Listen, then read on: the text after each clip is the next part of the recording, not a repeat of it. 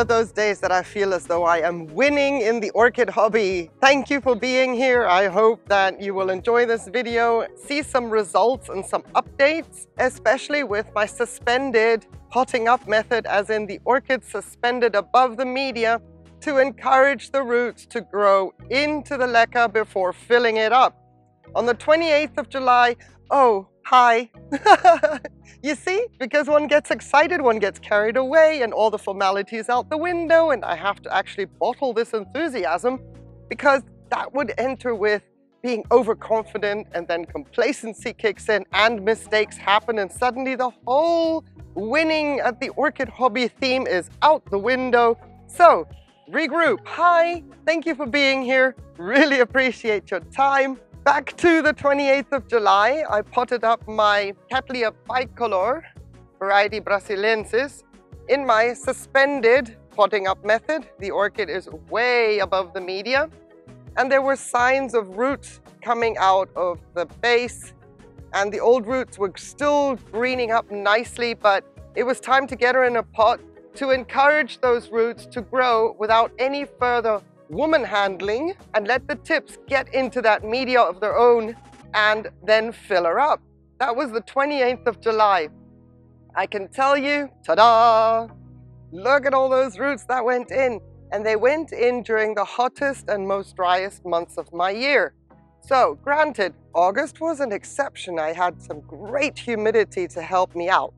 But I've done this in past years and the high humidity climate right here with all the leca that I just kept wet encouraged the roots to go down in the past years. And well, here today I can finally film and prove it works. So all we have to do for this little stint and round is just to fill up with small leca and cover the roots that grew into the pot that were nothing but mere nubbins when we potted them up in this suspended potting up method.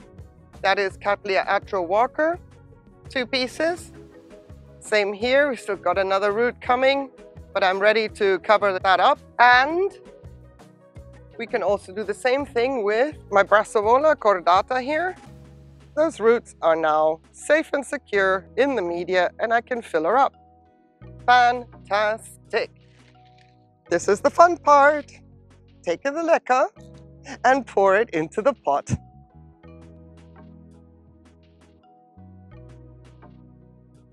A little bit for the cordata.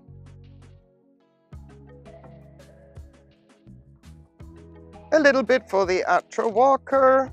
You can bloom now, you know. You're all established, you're all set up.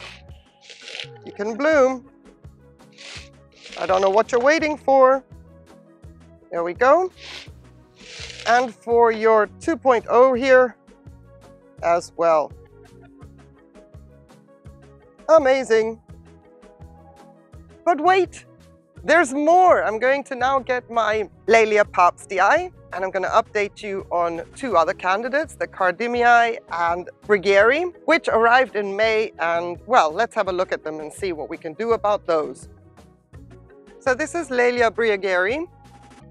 This arrived in May of this year, 2021.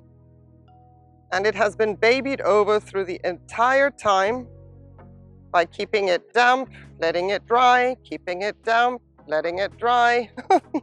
hey, you get the point? It had matured this growth during that time period, which has a sheath. I don't know if it wants to bloom.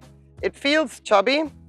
Would I let it bloom? Uh, but you see, there are no roots, so I don't know if it's even going to bother blooming because it's working on this growth right here. This is new. it's working on this growth. It's also working on this growth. And it is just starting somewhere down here, another new growth. So we've got a lot of, lot of potential here, but I'm waiting for root nubbins so this one's not going into a pot just yet. I am so glad she's holding on though, and she is vigorous, and that gives me hope. I have viable roots that I am keeping hydrated and let dry out, and then, you know, back and forth. But uh, it is easier for me to maintain this orchid outside of a pot at this current stage as opposed to potting it up and getting ahead of myself because I can let her dry out and I need to see root tips coming somewhere. And there's another new growth. Oh my goodness. This orchid, well, well, one day we will see root nubbins. Let me show you Cardimii. We need to keep our fingers crossed for this little one. I'm holding her upside down for reasons. First of all, I'm not interfering with this growth right here that's been maturing since May.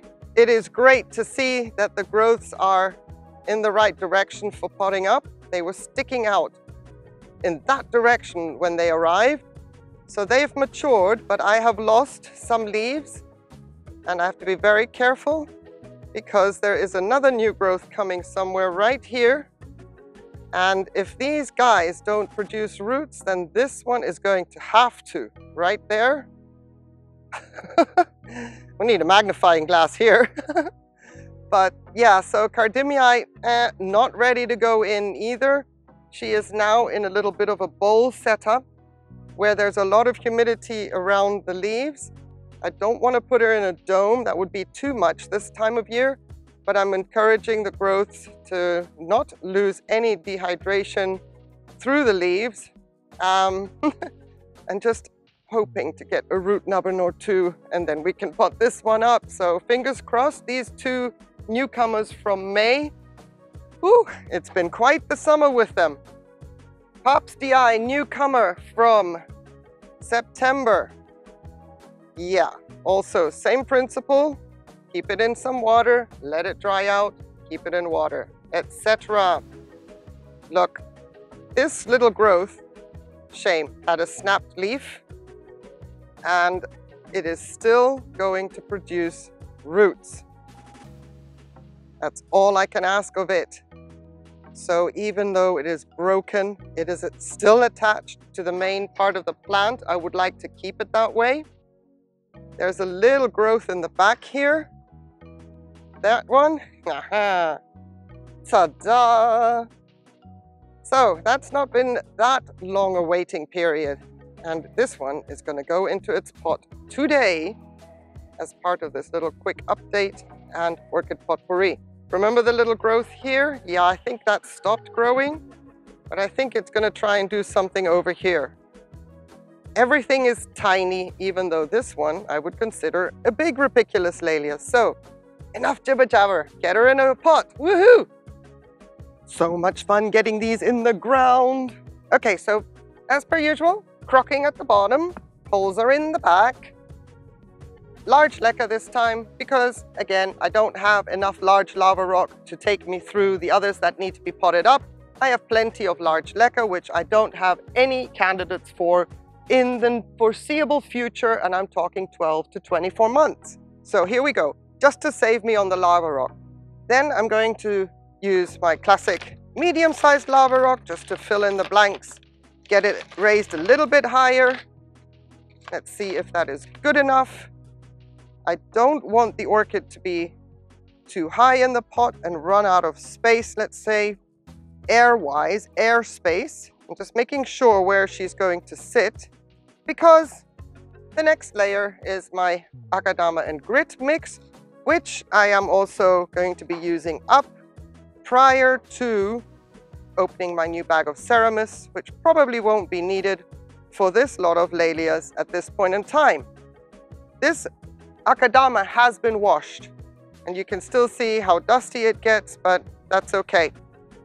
It's going to be an okay climate in the pot because the grit is going to balance all of that out. My tag in before the orchid. No more jiggling once the orchid is in place. Is that enough or should I finish that tub? I can finish the tub and spread it around a little bit more in the corners. Let's do that. Let's not rush this gorgeous process of getting a Laelia into her pot. She is going into the middle. So I've got this direction of growth, I've got this direction of growth. I'm putting her diagonal like that to have the space of the corners to work for me in the future. Besides, she is still in the middle, so she can go anywhere she wants. And then because I've got roots coming on this side and that side, I'm gonna make a little bit of a hollow. Nestle her into that hollow. And pour Akadama more towards where the roots are gonna come out. Keep them nice and moist. Sorry if that word is not to your liking. Wet is not good, damp. Maybe we should use the word damp. I know that some people uh, are not too pleased about the word moist. And then we're going to fill around with lava rock. Let's get her stable. Let's use lava rock as our third hand.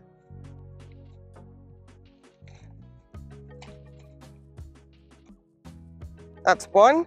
Haha! Hands free. Okay, careful, careful, careful. Like I said, I feel like I'm winning in the orchid hobby today, and that could be dangerous.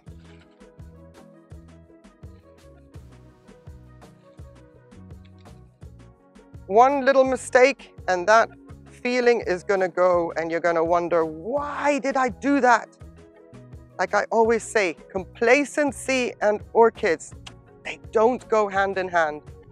So she is quite stable in the pot. I think I could actually leave her like this. Yeah, I don't need to prop her up with large lava rock. Cool. Otherwise, I would have taken large lava rock and propped her up on her other structures, but no, she's looking pretty good like this.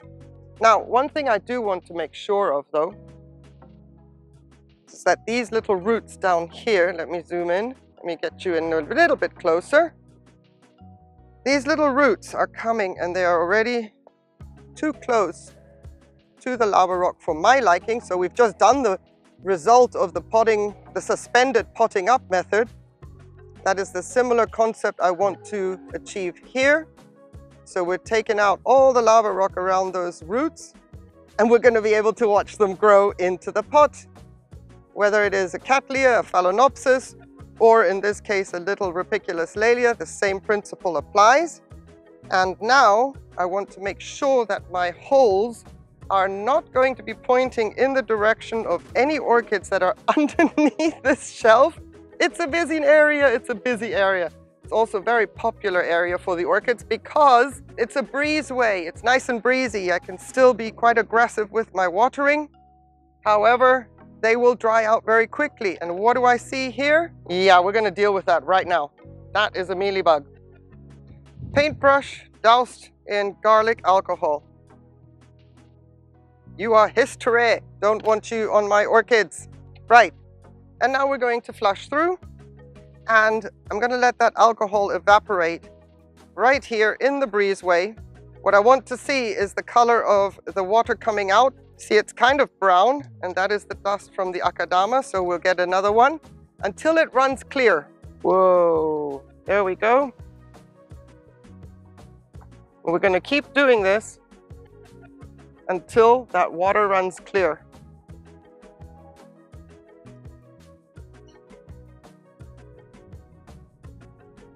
It's looking much better.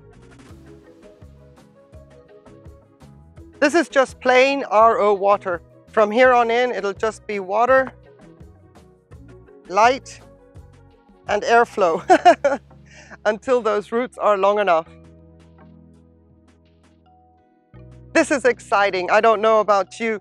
I just hope that you enjoyed this video. For me, it's nice to see that every orchid gets into a pot. I can reference the video back.